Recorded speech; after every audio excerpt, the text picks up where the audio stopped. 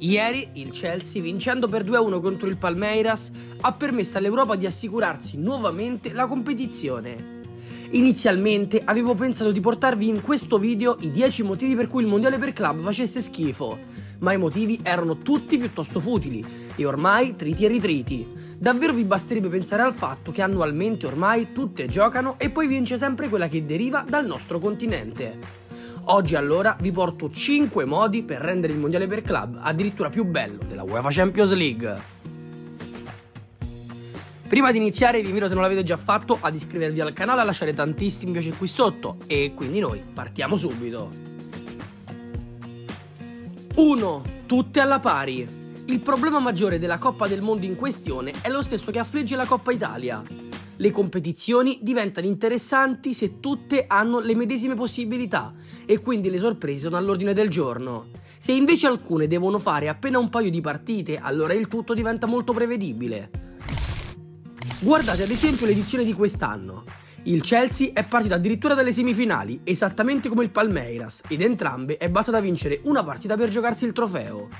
Una soluzione insensata, che toglie ogni tipo di curiosità, Basti pensare che per colpa di questo format, negli ultimi vent'anni abbiamo sempre avuto un'europea in finale e solamente tre volte ha vinto un altro continente, sempre quello sudamericano tra l'altro.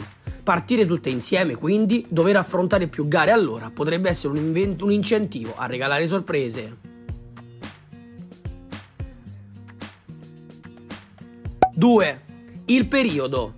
Ogni volta il mondiale per club si gioca a inizio anno, tra gennaio e febbraio quasi come se si avesse voglia, per colpa dei troppi impegni del calendario fitto, di toglierselo dai piedi.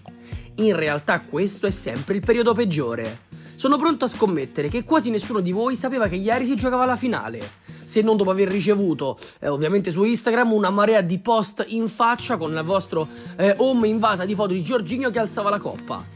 Giocare in questo periodo, poco prima della Champions, subito dopo le coppe nazionali e tra un turno e un altro di campionato non aiuta affatto. Il periodo migliore allora probabilmente sarebbe l'estate. Molti di voi ora diranno, ma d'estate spesso si giocano le competizioni per nazionali. Beh, ci arriviamo nel prossimo punto. 3. La cadenza. Giocare tutti gli anni lo rende un torneo abbastanza scarno, sicuramente di seconda fascia. So già cosa state pensando. Sì, che però la Champions si gioca tutti gli anni. Vero, ma è anche vero che la Champions vede ogni anno darsi battaglia 32 tra le migliori squadre d'Europa. Qui, dove il calcio è, dispiace dirlo, assolutamente di un altro livello. Giocare la Coppa ogni anno significa sorbirsi, in questo caso, quasi delle competizioni fotocopia. La mia idea sarebbe quella di giocarla una volta ogni 4 anni, in estate, rigorosamente un anno dispari, quello in cui non c'è né il mondiale, né l'europeo e né la Nations League. E poi, ovviamente, accodare Coppa America, Coppa d'Africa, Coppa CONCACAF e Coppa Asiatica con l'europeo, in modo ovviamente da avere uniformità.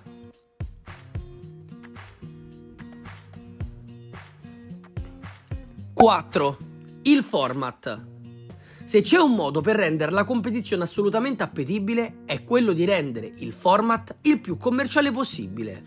E quello più commerciale possibile, ormai studiato e testato, è quello del mondiale attuale, che è poi il medesimo che viene utilizzato in UEFA Champions League, con l'attenuante della ripetizione casa trasferta.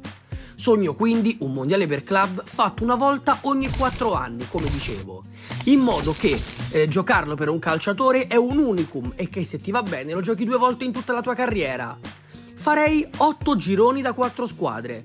Passano le prime due, ottavi, quarti, semifinale e finale. Esattamente sul modello del mondiale vero, giocato in estate, tutto nello stesso luogo. La vincente così avrà giocato 7 partite e vincerà una coppa che varrà moltissimo.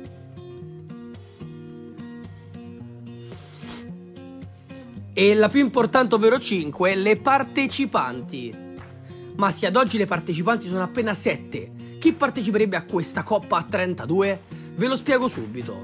8 di queste sarebbero europee, ammesse grazie alle vittorie in 4 anni di Champions League ed Europa League, 4 vincenti di Champions e 4 vincenti di Europa League. E se capita una ripetizione nella vittoria di uno o l'altra coppa?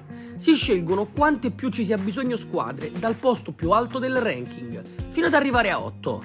Altre 6 sarebbero sudamericane, 4 vincitrici della Coppa Libertadores e altre 2 con il punteggio ranking più alto. altre 4 le prenderei dall'Africa, vincitrici della CAF Champions League.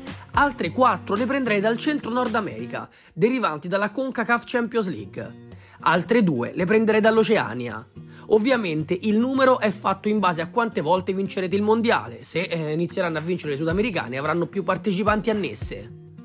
Si affrontano in un playoff di continente, tra l'altro, le quattro vincenti nei quattro anni della OF Champions League. In totale sono 28 le squadre così. Gli altri sei posti escono dai preliminari, nei quali si affrontano le quattro squadre uscite vincitrici delle quattro edizioni della Conference League europea, le quattro squadre che hanno vinto la Coppa Sudamericana, cioè l'Europa League del Sud America, le quattro squadre che hanno vinto la Coppa Araba e le due squadre che hanno perso lo spareggio in Oceania, per un totale 4, 8, 12, 14. Ogni girone ha delle regole prestabilite, dove non possono esserci più di un tot per continente. Per farvi un esempio, ad oggi parteciperebbero di europei Chelsea, Bayern, Liverpool, Real Madrid, Villarreal, Siviglia e Atletico mediante Champions ed Europa League, insieme al Manchester City che è secondo nel ranking dopo il Bayern Monaco già partecipante, perché il Chelsea ha avuto due successi in quattro anni. Insomma, un torneo che in questo modo sarebbe imperdibile. Per fare quindi un resoconto finale, il mio mondiale per club si giocherebbe d'estate, una volta ogni 4 anni, si giocherebbe con 32 squadre e non più con 7 squadre.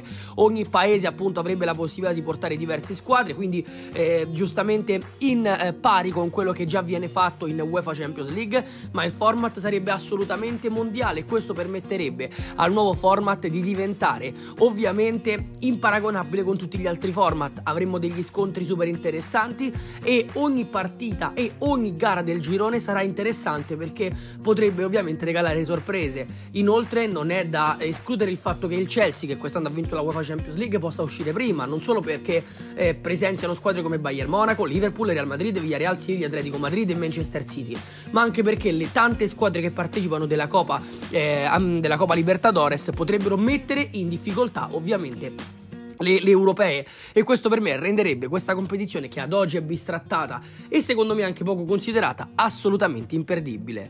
Questi quindi ragazzi erano 5 eh, motivi per 5 modi per rendere il mondiale per club più bello della UEFA Champions League, fatemi sapere, mi raccomando la vostra con un commento qua sotto, iscrivetevi al canale, io vi ringrazio tantissimi, mi piace, buon scialala come sempre, commentate facendomi sapere voi come lo trasformereste e noi come sempre ci vediamo ad un prossimo video.